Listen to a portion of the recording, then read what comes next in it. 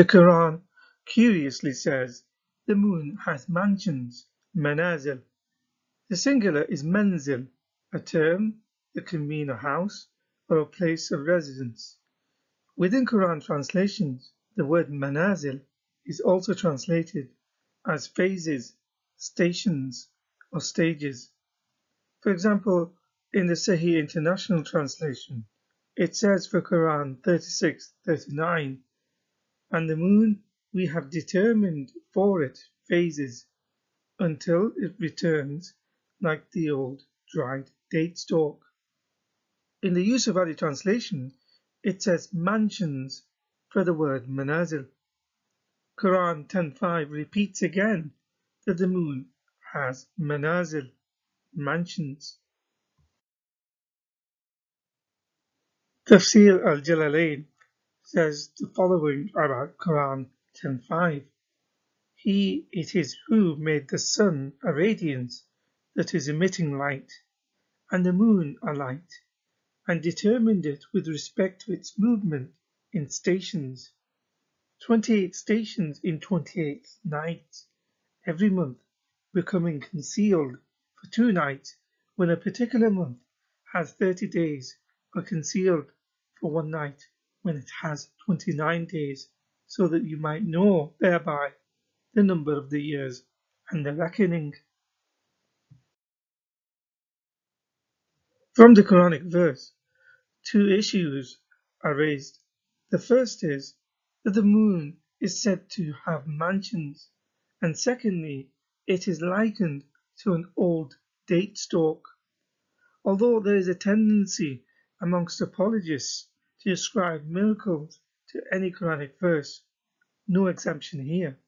Not surprisingly, there is no miracle attached to the peculiar phrase of the moon being likened to an old date stalk.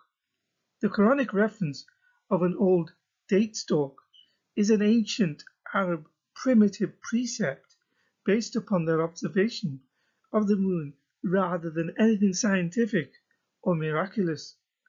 For example, Al-Qurtubi reported the following.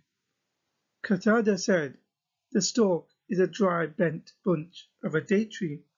Al-Khalil ibn Ahmed said, the stalk is the root of the bunch. It is small and wide, and it resembles the crescent when it leans down. As the judge said, the stalk in the stick of the bunch from which stalks are cut, and it stays dry on the date tree. So if the stalk is old, it withers and becomes like a crescent in its shape. So it becomes like the moon in its thinness and yellowness. The meaning of old is the one on which a year or more elapses on it. When it is old, it becomes thin and curves down and becomes yellow in color. It looks like the moon because it has three similar traits thinness, curving, and yellowness.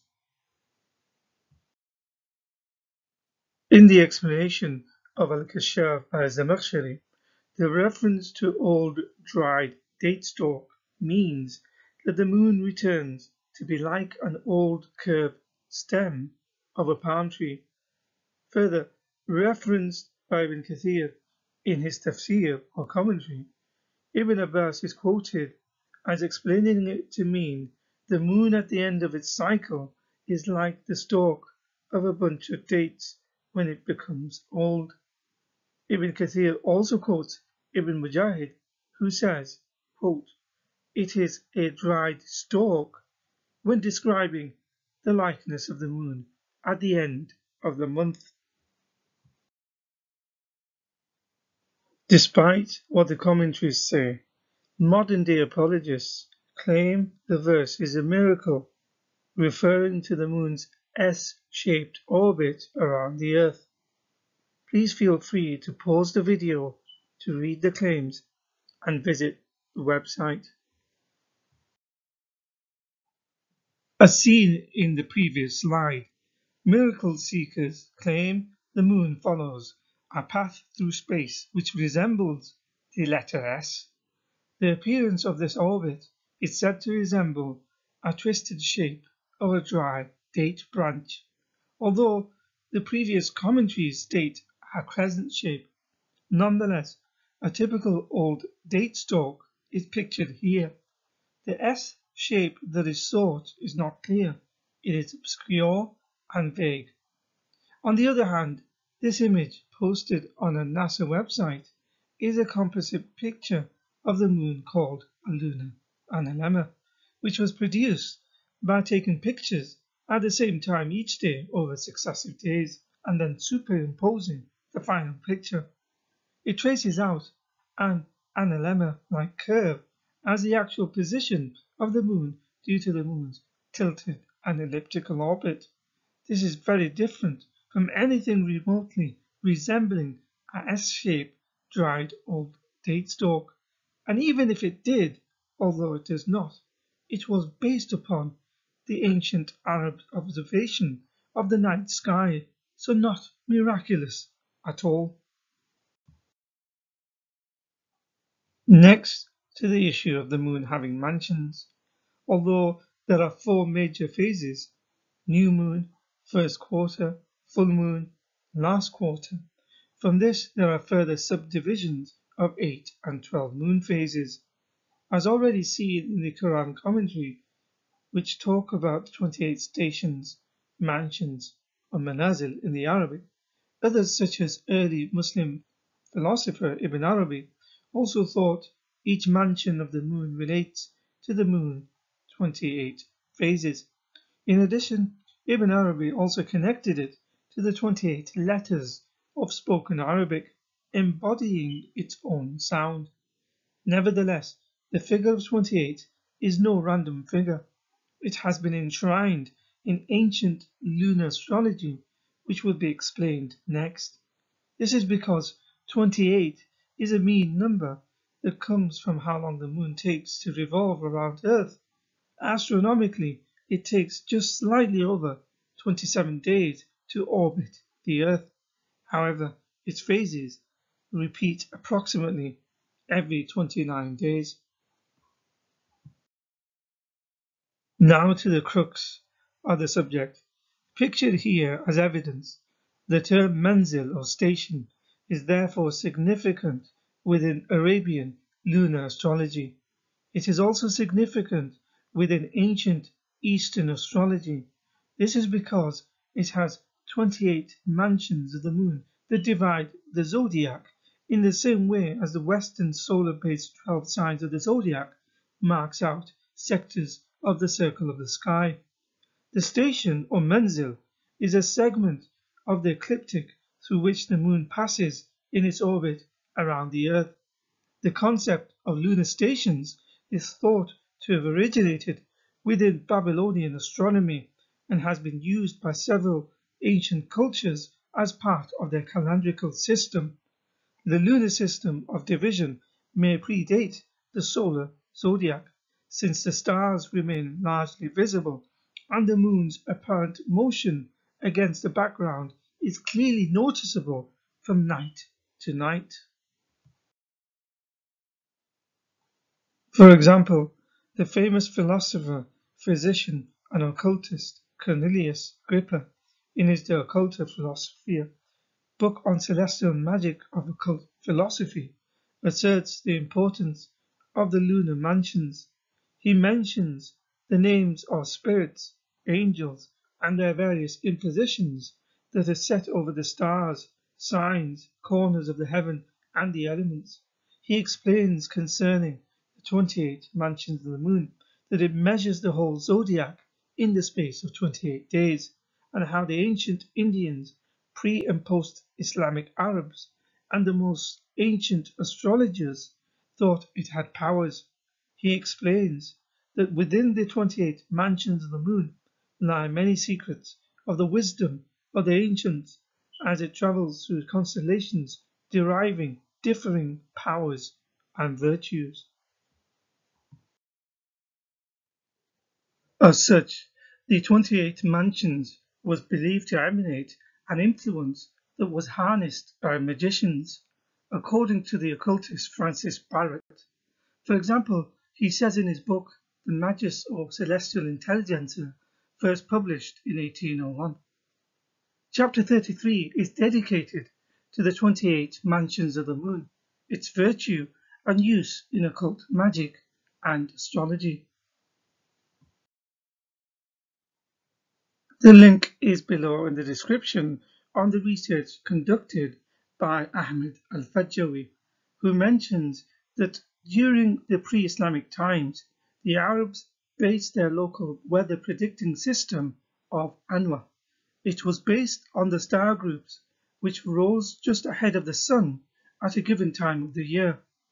They combined it with the lunar mansion system of the nakshatra from Indian astrology. For example, this picture is from Zubdat at-Tawarikh from an Ottoman survey of world history by Sayyid Luqman Ashuri. The shows from the center, the ancient planets, the signs of the zodiac in a clockwise order, and the moon's phases in an anti-clockwise order, aligned with the mansions of the moon. So there is a connection between the 28 letters of the Arabic alphabet according to Ibn Arabi and the term manazil and the symbolic significance of the moon in Islam, particularly the crescent moon, twinned with Quranic references, gives the mansions a particular significance within Arabic astrology. In fact, it is through the Arabs that Hellenistic astrology, deriving in part from the system of Dorotheus of Sidon, including that of the Hermetic corpus and ancient Chinese and Indian astrology, along with the positional number system were transmitted to Europe during the effervescence of Islamic translation and science from the 9th to the 13th centuries AD. Much of the material was translated into Latin, usually in Spain, where Islam and Christendom met alongside Judaism. There were many Arab writers on astrology, and almost all include the mention of lunar mansions. Some of the more influential Arab astrologers that were responsible include Ibn Atari, Abu Ali al-Khayyat, Abu Ma'shar al-Kindi, al-Farghani, al-Qabisi, Ali ibn Abi Rijal, and al-Biruni. Here are some examples of lunar mansions amongst ancient cultures and its influence on Islamic lunar astrology is palpable. On the right is a manuscript dated to 1300 attributed to Muslim astrologer Abu Ma'shar al-Balkhi which contains the personification of lunar phases. And below is a page from the Iskandar horoscope showing the position of the planets at the moment of Iskandar's birth on 25th of April 1384 in the form of a planisphere. Iskandar was a grandson of Tamerlane, the Mongol emperor. Despite its intimation in the Quran, giving it some semblance of credence and legitimacy, and the subsequent contribution made by Muslims in bringing lunar astrology to Europe, the irony is astrology is generally viewed as forbidden as a kind of sorcery and fortune telling. Prominent figures such as Al-Ghazali and Ibn Taymiyyah forbade it as a field of study, but it was not clearly condemned by earlier scholars or even the majority, as many Muslim scholars practiced it. For example, Ali ibn Sulaiman al-Hashimi a Muslim scholar, justified the role of astrology in influencing Islamic adherents. His book, Kitab fi Ilm al-Zijat, had become the dominant astronomical tradition in Islam, and it contains considerable material about the Indian and Persian astronomical traditions. Due to its prevalence, an early Islamic stance against that of astrology stems from individuals such as Ahmed ibn Musa ibn Shakir. The presence of historical texts such as Kitab al-Daraj, treatise on astrology pictured here, are proof of the presence of astrology in early Islam. So in conclusion, the Quran curiously says the moon has mansions. The term is synonymous with lunar astrology. It is significant within Arabian lunar astrology and within ancient Eastern astrology. This is because it has 28 mansions of the moon that divide the zodiac in the same way as the Western solar-based 12 signs of the zodiac. The 28 mansions have been used within occultism and magic for centuries. Pre-Islamic Arabs and then the Muslims based their lunar astrology upon the mansion system adopted from other cultures, whether it was the Babylonians, the nakshatra from Indian astrology, or from the Chinese. Many prominent Arab and Muslim astrologers were responsible for introducing it to Europe, although mainstream Islam forbids astrology of any kind, whether it is lunar or solar. This was not always the case, nor even the majority of early Muslims considered it wrong. This was in part of the Quran's tacit permissibility. The moon is likened to an old date stalk in the Quran, although there is a tendency to attach miracles to it by some proponents. There is no miracle at all, as it is an ancient Arab primitive precept based upon their observation of the moon rather than anything scientific or miraculous. For the Arabs, the date stalk becomes thin, curves down, and yellow in color as it ages. So based upon their observation of the night sky, the moon was said to share some of its similar traits of thinness, curving, and yellowness at the end of the month. Modern day composite picture of the moon, lunar analemma, traces the actual position of the moon due to the moon's tilted and elliptical orbit. This is different from the S or crescent-shaped pattern sought by miracle seekers.